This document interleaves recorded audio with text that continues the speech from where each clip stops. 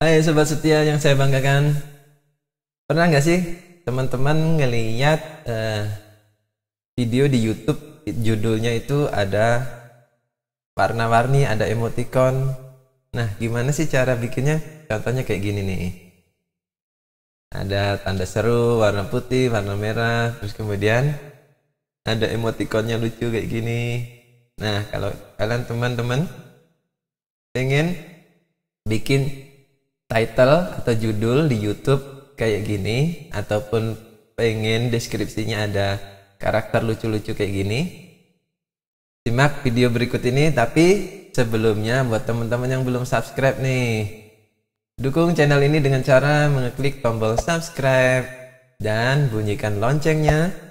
Setelah itu teman-teman tolong klik tombol like dan share video ini agar teman-teman selain mendapatkan pahala juga mendapatkan uh, manfaat lebih dari video ini. Langsung aja kita masuk ke caranya bagaimana pada video berikut ini.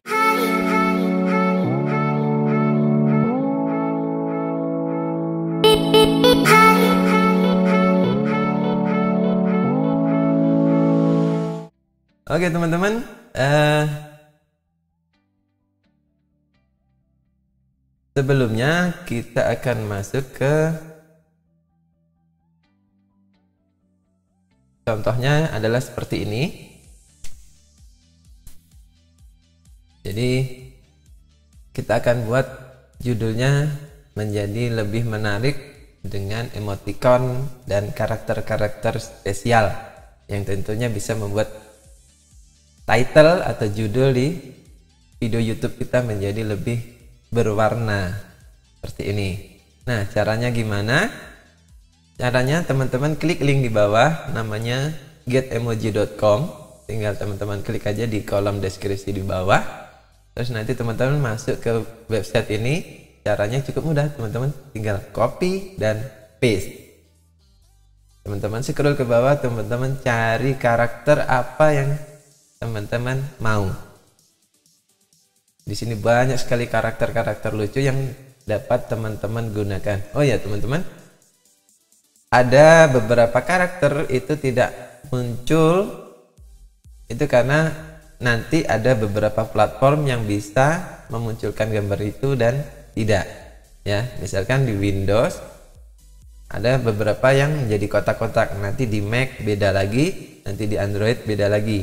Nah, sebaiknya teman-teman pilih yang ada gambarnya di sini. Yang kotak-kotak atau yang berupa tulisan jangan dipilih karena nanti di sebagian platform itu tidak berfungsi dengan baik malah bikin title kamu jadi jelek. Nah misalkan di sini saya mau ngambil eh, karakter-karakter uh, spesial. Kita scroll ke bawah. Salah satu contoh uh, karakter yang tidak tampil dengan baik itu bendera ya. Flag itu di Windows di platform Windows itu nggak jalan. Nah kita scroll ke bawah. Nanti kita mau lihat apa karakter-karakter khusus. Nah ini karakter-karakter khusus tinggal kita pilih. Misalkan saya tadi kan pakai tanda seru ya. Kita scroll ke bawah kita cari tanda seru. Nah ini yang bendera-bendera ini nggak nggak muncul ya bendera-bendera nggak muncul. Nah ini dia. Kita tinggal blok aja terus kita klik kanan copy. Udah bukan? Kita pastikan di title dari video YouTube kita. Jadi kita tekan edit kemudian kita ganti judulnya dengan karakter-karakter lucu ini. Tinggal kita klik kanan dan paste selesai klik kanan paste jadi caranya hanya copy paste. Nanti dia akan muncul emoji atau spesial karakter sesuai yang kita inginkan. Seperti itu. Oke, sekarang kita mau cari karakter lain. Di sini masih banyak sekali karakter-karakter lainnya yang bisa teman-teman pilih. Misalnya teman suka apa? Misalkan piala atau medali, teman-teman pastikan di sini misalkan saya tidak mau pakai piala pialanya delete. Saya delete kemudian saya ganti dengan medali. Nah ini banyak sekali kombinasi-kombinasi yang akan membuat title kita menjadi eye catching. Jadi selain thumbnail yang menarik title yang eye catching yang berwarna-warni ini akan juga menarik orang untuk mengekliknya. Nah ini apa namanya sebuah tips dan trik yang cukup berguna. Oke nanti tinggal kita refresh. Nah kita refresh video YouTube kita muncul sekarang. Muncul title dan karakter emojinya menjadi lebih menarik. Nggak hanya teks biasa yang monoton. Nah bagaimana dengan kolom deskripsi? Kolom deskripsi juga bisa kita isikan ini bahkan kalau kita mau ngomenin video orang dengan karakter emoji juga bisa. Ini sangat seru sekali teman-teman. Nah misalkan kita mau masukkan smiley atau emoticon di apa namanya deskripsi kita. Tinggal kita pastikan aja di kolom deskripsi.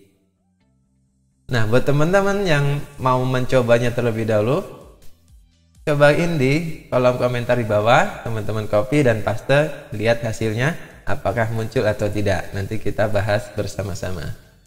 Ya jadi teman-teman bisa gunakan trik ini untuk bikin video title video atau deskripsi video ataupun bahkan teman-teman bisa gunakan inti gunakan trik ini untuk ngasih komentar ke video orang. Jadi komentar teman-teman akan jauh lebih menarik karena ada emoticon-emoticon lucunya Nah, itu dia teman-teman caranya bagaimana kita bisa uh, menambahkan emoji atau emoticon di video kita. Nah, ini sudah muncul gambar emoticonnya. Jadi kalau belum muncul, teman-teman tinggal klik refresh ya di Internet Explorer atau Google Chrome. Teman-teman klik refresh untuk uh, mengupdate hasilnya apakah sudah muncul atau belum. Jadi bentuknya nanti seperti itu ya. Itu tadi teman-teman. Dan sekali lagi yang belum subscribe nih gratis kok subscribe. Mumpung subscribe ini belum berbayar ya. Subscribe ini gratis jadi teman-teman nggak usah ragu-ragu. Klik subscribe like dan share untuk uh, mendukung channel ini agar tetap eksis di YouTube. Terima kasih sudah menonton video ini dari awal sampai akhir. Kita akan jumpa lagi di video berikutnya. Sekian dan wassalamualaikum warahmatullahi wabarakatuh.